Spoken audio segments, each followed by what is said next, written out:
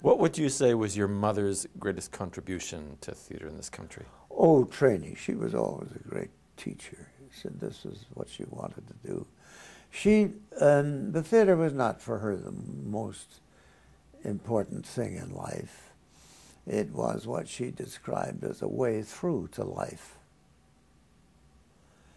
And she used to do this remarkable trick with not just actors, but with lawyers, with uh, ministers, with doctors, with all kinds of people. Persuade them that, they, that there was more to life than what they were doing, important as what they were doing is. And I think that's what set her apart from many of the other teachers too, who were, who were trying to train people for life in the professional theater. And uh, she said, no, no, that's, that's a, a way of coming at life.